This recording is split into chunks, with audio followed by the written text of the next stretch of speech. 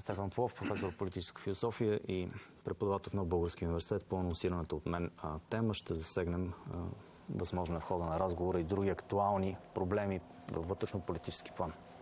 Професор Плов, много се радвам и винаги сте добре дошъл в студиото ни. Благодаря ви, че приехте поканата. Благодаря, здравейте. Това професор му е мястото в гримьорната. А, нека да остане там. Вижте, първият разговор вие, вие обяснихте защо а, не държите толкова на, титлите, но аз пък държа, защото зад тях трябва да стои труд и това е а, признание и призвание. Да, но аз съм против а, не Добре. вашата позиция, това, че в България длъжности се превръщат в титли, а целият свят гледа да се освободи от а, това. Добре, да. ще, ще уважа е? вашето желание, господин Попов. Добре.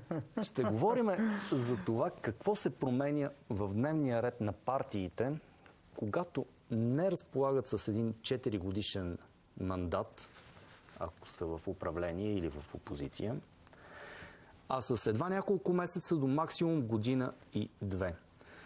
Какво се случва с краткосрочни, средносрочни и дългосрочни цели, които партиите определят да. и, и възприемат като а, свои? Да, първите а, веднага две неща, които бих казал е а, пред скоба изваждам това, че ситуацията е уникална. За много, в този 30 годишен период имаме подобни ситуации, но тази е уникална. Ще обясна защо. Тук отговорността е много голяма и се разбира от всички. А, първо. И второ, публичността, това, което се означава с клишето прозрачност, публичността на играчите, които позициите, партиите, които евентуално ще съставят правителство, като изолират а, дефинитивно ГЕРБ и за сега изглежда ДПС, тяхната отговорност, а, тяхното поведение, всичко това, намеренията им, разговорите им текат публично. Mm. Това е уникална ситуация. Ние сме имали такава неопределеност, произведена от избирателя, преди много години, преди 25 години с правителството на Беров.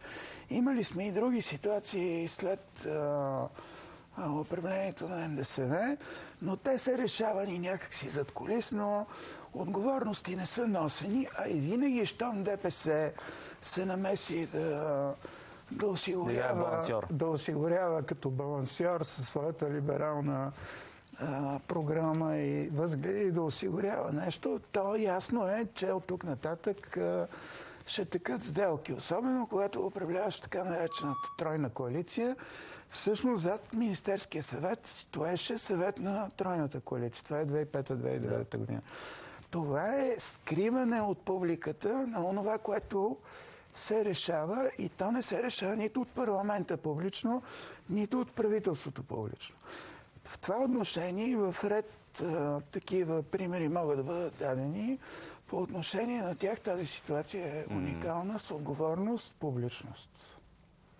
Това е първото нещо, което мога да кажа така, като директен отговор. Добре, а, но как се нарича Имате ли вече ня... някакъв термин, който да оприличите ситуацията, в която се намира вътре... термин, термин някакво понятие, в което се намира вътрешно-политическата ситуация на партиите, обществото да, ни? Не мога да кажа термин, мога да кажа, че българското общество в момента е в период на много сериозно изпитание по отношение на способността да трансформира представителството. Mm-hmm. Значи политическото представителство е база на политическата общност. В момента, в който възникне представителство, това означава, че една група разпиляна се превръща в общност, защото взима нещата в свои ръце.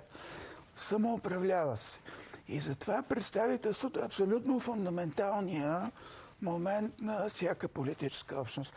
Такава ситуация със сигурност не сме имали от 2009 година насам, когато гласовете някакси автоматично, за мен това е мистерия, отиват в ГЕРБ и ГЕРБ по лека-лека в началото имаше надежда, че ще работят по-открито, ще бъдат по-отворени не, не се случи това нещо. А, дори 2013-2014 с реформаторския блок не се случи, защото този монстър ГЕРБ в крайна сметка се отваря малко и след това поглъща и унищожава. Mm-hmm. А, да, в момента и имаме... голям коалиционен партньор, това обикновено е... Да, можеше да не бъде така, ако но да не си въобразяваме да. альтернативни сюжети за миналото. Не се повтаря. За миналото. Историята не се повтаря. В това отношение ситуацията сега е уникална. Строи се по нов начин, т.е. трансформира се представителството и това структуриране на представителството става, по мое виждане, изключително отговорно, публично. За съжаление, смятам, че това не се разбира масово от публиката, макар че публичността в момента е дръпната пред телевизорите и пред медиите. Такъв интерес към политика, защото политика нямаше. Това Бойко Борисов обикаля с някакви джипки, той обикаля България, както се обикаля чифлик.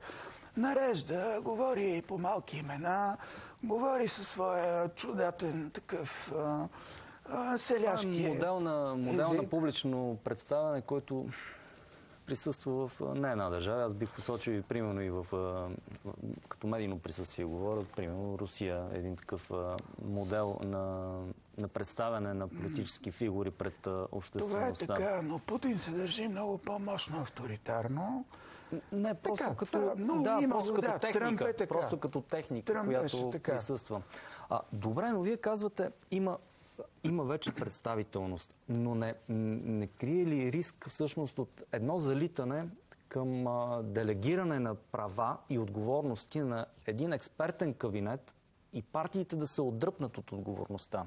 И това да. всъщност да е нов етап на, на, на, на, на да. на развитие на вътрешно-политическа система. Аз мисля, че а, има такъв народ, си дават сметка, че гласовете им са много малко, за да поддържат трайно а, едно правителство. То може да бъде излъчено и някои от коалиционните, те няма да бъдат коалиционни партньори, но даващите подкрепа да се отдръпне, ако условията преди това оговорени не бъдат спазвани. В това отношение смятам, че БСП направи нещо разумно, като поиска писменно да бъдат разписани условия и споразумение за подкрепа. А не да бъдат изговорени и написани някакви по сайтове. Mm-hmm. Това трябва да бъде поведението и на Да този документ. Точно така. И на демократична България, и на изправи се, както ще се нарекат БГ и така нататък. Тоест, добре е да има не общо споразумение, което би формирало коалиция, а да има отделни споразумения, между които, разбира се, ще има кореспонденция и на базата на тия споразумения публично, отново казвам, това е много важен момент в тази нова ситуация, mm-hmm. Публично да се иска отговорност било директно в парламента, разбира се, било през медии, интервюта, през публична комуникация, видимо публично, да се иска отговорност към от а, изправи се от а, има такъв народ и съответно да се поставят условия за оттегляне на подкрепа. подкрепа. Те трябва да знаят, че когато разговарят за така наречените политики, програми, цели, приоритети, целият той е ужасен клиширан език. За съжаление той беше клиширан и така обесценен и десементизиран. Когато се говори за тия неща, всъщност се говори за сериозни работи. И там трябва да, да, да влезе нещо в подобни споразумения, на което аз много бих държал. И това е график. Mm-hmm. Не изобщо. Е, дори да се говори за приоритети, пак може да се разточи цялата работа, тази работа. Понеже този парламент е вероятно да не изпълни целия си времеви мандат, а, а, да не изпълни, може да трае година, година и половина, две, а може и да се стабилизира. Не знаем за сега, но е висок риска да бъде прекъснат след година, година и половина. В тази година и година и половина трябва да се разпише по график какво трябва да се направи. Mm. И то да се прави пред очите на цялото общество. Това е добре. Но кажете ми, кой определя приоритетите, по които и политики сега се а, стиковат а, и а, сближават позициите между партиите, които провеждат консултациите? Не е ли служебният кабинет да определя приоритетите пред следващото управление, с тона си да задава ритъма, защото има много започнати процедури и процеси, които ще бъдат наследени от едно управление, което ще бъде редовно Да. избрано. Сега аз а, трябва да призная, че конституционно съм бил винаги а, против конструкцията служебно правителство. Защото тя, а, ще отбележа това нещо с едно изречение, това е един миг в конституционната така история на България, един, едни мигове, вече 6 станаха май, в които парламентарната република за миг просто, за два или три месеца, може и да е четири, сега взема може... почивка. Си взема почивка и на нейно място влиза в, в, на сцената излиза президентска република.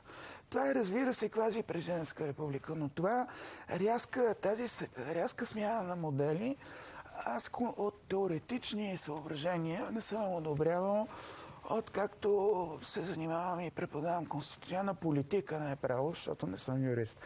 Въпреки това трябва да кажа, че сте прав напълно.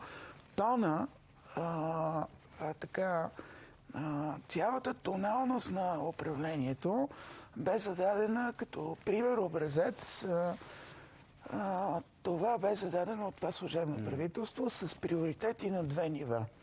И мисля, че това трябва да се пренесе по-нататъка, включително, ако е възможно, и с преназначаване на министри, които се отличиха като особено добри. Някои много видимо, но някои не толкова видимо също много добре. Примерно социалният министр с предложението за преизчисляване на пенсиите предлага едни много нестандартни и нови решения. Това се коментира в момента. Но и по-известните от тях да бъдат, ще бъде добре и в името на а, континуитета, както и на така уважение към одобрението на гражданите, защото това правителство се ползва от голямо одобрение, да бъдат те поканени. Дали ще приемат или не е друг въпрос. Но сега за приоритетите.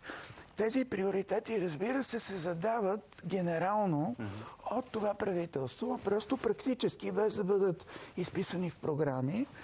Обаче те ще бъдат продължени по-нататък. Да. И те са на две нива.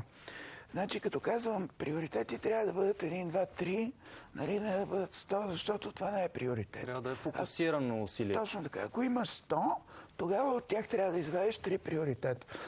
А, има важни неща на второто равнище, които са економика, здравеопазване, образование. Изключително важно. Образователно България е в трагично състояние с 40% функционално неграмотни. Здравеопазването видяхме какво е, да не повтаряме. И с пандемията а, економиката се нуждае от а, много силен тласък и стимул, за да тръгне, особено на нива среден малък бизнес. Но над всичко това стои една арка, един супер приоритет, бих казал, това, което наричат а, обичайно с клишето корупция, аз бих казал преборването на овладяната държава и стабилизацията на институциите в две посоки тук. Едната посока е съдебната реформа. Това е категорично вече закъсняло, да не кажа с 20 години, с 10 години, с колкото и е. Първата идея за голяма реформа, засягаща прокуратурата и изваждането й от съдебната власт, е дадена 96-та година от министъра на правосъдието на БСП. Представяте ли си от колко години са минали от тогава? 96-та година. Това са Четвърт 20 век. четвърт век. За първ път той казва, не е мястото там. И до сега това само го повтаряме на Но конференции. няма ли парадокс в следното? Не се ли захваща едно бъдещо редовно избрано управление при функциониращ парламент с дългосрочни цели, когато имат хоризонт пред себе си едва няколко месеца до година, година и половина? Да. Този въпрос е обсъждан нееднократно при предвижданията, че парламента ще повтори този от че, изборите от а, 4 април. Да. че ще се повтори картина. Сега тя се размести положително, но не е достатъчно, за да има категорично мнозинство. Така, този въпрос е обсъждан. Ако имаме година и половина, не е ли къс периода, за да се захващаме с такива неща? Не, не е къс. Значи, втората, второто измерение на тази институционална реформа, извън съдебната власт, второто е а, оправяне на така наречените антикорупционни институции в България. Те са излишество, голям, една част от тях не е, но голяма част е излишество и трябва да бъдат веднага затворени. Това е специализирания съд с прикачаната към него по силата на закона за съдебната власт изобщо прокуратурата. прокуратура. Това нещо отнема един ден. Никаква да една година. За да се сложи край. То вече се говори. Да. Те, мисля, че законопроектът е, е, внесен. е внесен. Да, още в първия ден, ако не да. се лъжа. Но... А, това не е от омраза към специализираната прокуратура. Това е просто един излишен израстък, който можем да приемем към сегашна дата, че е служил за експеримент, да се види върши ли работа. Не върши работа по никаква линия. Напротив, по времето на ГЕРБ стана инструмент за разправя с едри бизнеси, както са Бобокови и разни други. Това е едното. Второ, според мен категорично трябва да се закрие институцията КОМПИ, закона за конфискация трябва да бъде радикално преработен. Понеже всички страни в Западна Европа, Штатите и други, имат закони за гражданска конфискация, което е едно съмнително положение, според мен, много критикувано по света. Дори това да остане, то трябва да бъде по-тясно обвързано с наказателния процес. Законът да предвиди по-високи нива, комисията да бъде разформирована и разделена на две, на три и така нататък. Тези две неща. И ДАНС трябва да бъде преструктуриран. Това, което ми казвате, са стратегически теми за България и за нейната структура и функциониране. Но не губят ли краткосрочния фокус партиите? Предизвикателствата на деня. Ето ще ви дам пример с вакцинацията. Това като процес беше изоставено. То не фигурира в дневния ред на, на служебния да. кабинет. Това е изключително важно, според мен. Точно така. Но вижте, вакцинацията е текущ проблем от а, година и половина. И това, което, а, за съжаление, е една от а, черните точки на служебния кабинет, е отсъствие на масирана кампания за вакцинация. България е на едно от последните места в света по вакциниране с тия 13%. Има страни, които са с 80, Малта е малка да, страна. Обаче Дания, Холандия, Австралия, да не говорим, Нова Зеландия, Канада са много напред. А Англия, която беше в тежко положение, е с 60% вакцинации. България с тия 13% се поставя себе си сама в случая, чрез действията на управлението, в много голям риск а, да се случи трета много голяма вълна. Тоест, тези неща в никакъв случай не могат да бъдат изоставени и те в момента се движат от разговарящите за бъдещо управление. Да. Върват заедно с а, съдбата. всичко на... е на масата. Това е на масата. Това са втория ред приоритети. Значи вакцинацията, според мен, е първи приоритет, заедно с започване на здравеопазването да се оправя, което е по-далечен приоритет, както и образованието. А, но, например, при изчисляването на пенсиите е закъсняло веднъж с 10, веднъж с 5 години. Това трябва спешно да се направи. Ето от някои от партиите, май всички, които разговарят за подкрепа на правителство на ИТН, всички вече го придвижват и се говори за 1 октомври. Това са бързи неща. Да, да, да. Съдбата на ББР се обсъжда. Едни са за, други са за закриване, приватизация. И изглежда, че ще се съгласят на базата на съгласие, че малкият бизнес трябва да бъде подпомогнат и ще я запазят с категорично преоформяне на правилника, по който работи и вече край с тия гигантски заеми от по 150 милиона. Господин Пов, много ви благодаря. Благодаря аз. Много се радвам, че бяхте и че направихте този анализ, защото наистина времето е изключително нетрадиционно. Ценно е в момента Ценно е. времето. Времето е много ценно. Много ви благодаря, господин Попов. Благодаря аз. Ще приключа все пак с титлата професор Стефан Попов, професор по политически философии и преподавател в Новобългарския университет по темата за дневния ред на партиите, когато пред себе си все по-често се отдалечава 4 годишният хоризонт на, на управление в опозиция или в управление и имат пред себе си няколко месеца до година и половина-две.